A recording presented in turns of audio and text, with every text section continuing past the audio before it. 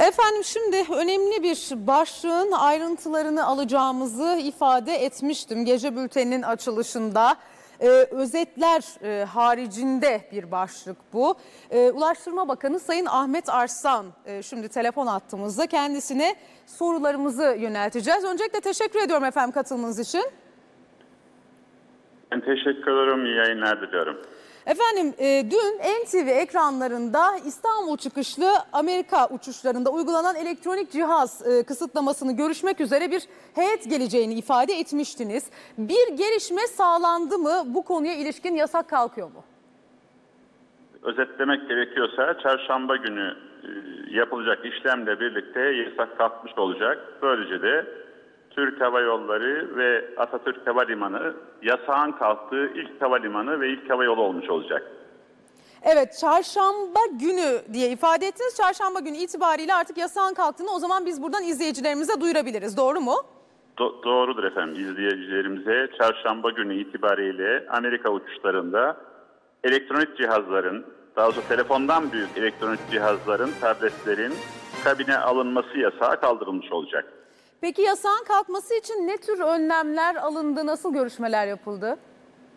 Ee, sizler de doğrusu izleyicilerimizi çok bilgilendirdiniz. Atatürk Havalimanı'nda konan bu elektronik cihaz kısıtlaması benzer birçok havalimanında yapıldı. Ancak bizim hep söylediğimiz şu olduğu muhataplara.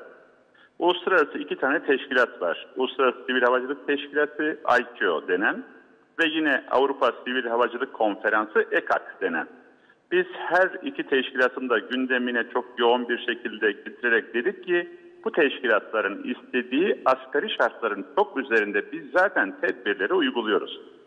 E hal böyleyken bu tedbirleri uyguluyorken Atatürk Havalimanı'ndan Türk Hava Yolları'na böyle bir yasağın uygulanması kesinlikle doğru değil. Bu konuda muhataplarımızla sıklıkla görüştük ve bu tezlerimizi savunduk. Bir şey daha söyledik. Yani eğer Türkiye'den giden bir yolcu terör olayına karışabilecekse Avrupa'nın herhangi yerinden giden bir yolcu da terör olayına karışabilir. Dolayısıyla ya bu uygulamayı herkese uygulamak zorundaydınız ya da Türkiye'ye böyle bir yasak getirmemek durumundaydınız dedik ki günün sonunda bu noktaya geldiler. 28 Haziran itibariyle yeni bir duyuruda bulundular ve dediler ki Türkiye'nin şu an almış olduğu tedbirler dahil bütün havalimanları, Amerika'ya uçuş yapan bütün havalimanları belli benzer tedbirleri almak zorundalar. Almazlarsa ise onlara da bu yasakları getireceğiz ki bu yasak dünyanın her yerinde başlamış olacak. Ancak bir şartla bizim İstanbul'da koyduğumuz tomografi cihazını koyan ve gerekli tedbirleri alan hava yolları için bu yasağı kaldıracaklarını beyan ettiler ki biz daha önceden bu anlamda bu tedbirlerimizi almış, bu tip cihazları Atatürk Havalimanı'na kurmuş ve özellikle Amerika'ya uçan uç, uçuşlarda boarding öncesi hemen körük öncesi bu işlemleri yaptığımız için tedbirlerimizi almıştık ve davet ettik. Ayın 5'i itibariyle gelecekler. İlk uçuşta kontrollerini yapacaklar ki bir sıkıntı yok. Sadece teyit gözlemi gerçekleştirecekler. Bu teyit gözlemiyle birlikte de bu yasak Atatürk Havalimanı'ndan ve Türk Hava Yolları'ndan inşallah kalkmış olacak. Peki e, şimdi sadece tabii e, Türkiye'den, İstanbul'dan, Atatürk Havalimanı'ndan sadece Türkler değil, dünyanın birçok yerinden yolcu Amerika Birleşik Devletleri'ne gidiyordu malum. Bu uygulama süresince e, uçuşlar nasıl etkilendi? Yolcu sayısında bir azalma görüldü mü? Biz tabii yolcularımızın, misafirlerimizin e, etkilenmemesi adına ve doğru bilgilendirilmesi adına hem vaktinde bilgilendirmeler yaptık hem boarding öncesi arındırılmış sahada da laptoplarını istedikleri gibi kullanabilme şansı tanıdığımız ve daha sonra uçak içerisinde de onlara tablet vererek gerekli kolaylığı sağladığımız için herhangi bir etkilenme olmadı. Ama bir gerçek var ki bu çok uzun solukta olsaydı, uzun sürseydi ister istemez yolcular kendileri açısından yeni güzergahlar belirlemeye, alternatif hatları kullanmaya yöneleceklerdi. E, dolayısıyla çok uzamamış olması bizim için avantaj. Bu dönemde açıkçası etkilenmedik ama etkilenmemek adına da olağanüstü bir gayret sarf edildi.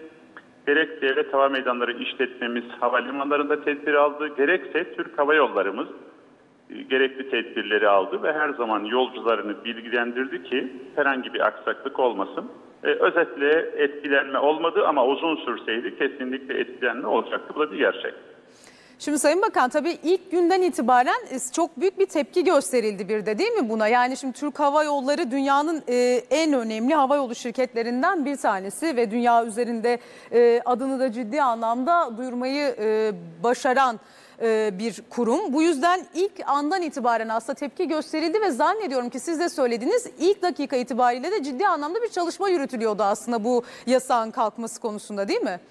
E, tespitiniz yüzde yüz doğru. Gerek biz e, Ulaştırma Denizcilik Haberleşme Bakanlığı olarak muhataplarımızla birlikte, gerek Dışişleri Bakanlığımız Büyükelçimiz marifetiyle, gerekse Türk Hava Yolları da kendi muhatapları ve denkleri diyelim karşıtları e, üzerinden her türlü girişimde bulunuldu ve gerçekten bunu uluslararası otoriteler olan her iki teşkilatın da en üst düzey kurumlarında, toplantılarında biz gündeme taşıdık. E, ciddi bir baskı oluşturduk. Tabii söylediğiniz bir ifade vardı. Oradan hareketle söylemek lazım. Şunu söyledik. Yani bunu uyguluyorsanız herkese uygulayın. Ama sadece belli hava yollarına uyguluyorsanız özellikle yıldızı parlayan, dünyanın her yerine uçan ve tercih edilen Türk Hava Yolları'na uyguluyorsanız o zaman burada kasıt aranır.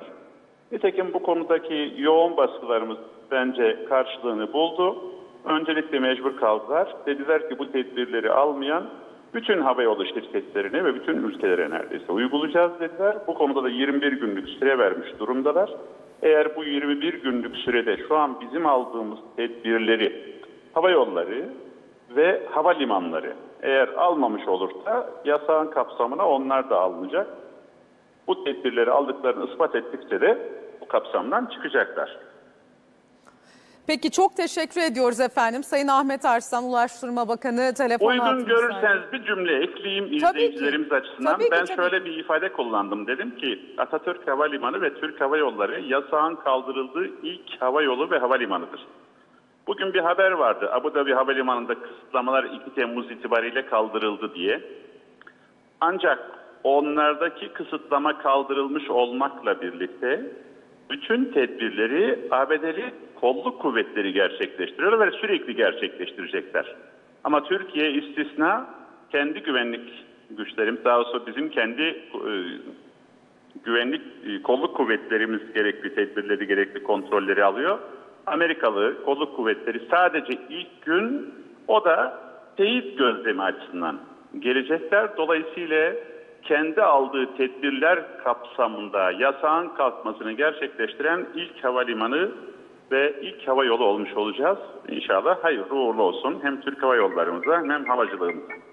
Peki teşekkür ediyoruz bize katılmanız için. Ee, önemli bir bilgiydi bizimle paylaştığınız için. Ulaştırma Bakanı Sayın Ahmet Arslan telefon attığımızdaydı. Amerika Birleşik Devletleri'ne uçuşlarda tablet yasağı e, çarşamba günü itibariyle kalkıyor efendim. Bu son dakika bilgisini de sizlerle bu şekilde paylaşmış olduk. Şimdi gündemin diğer başlıklarına geçiyoruz.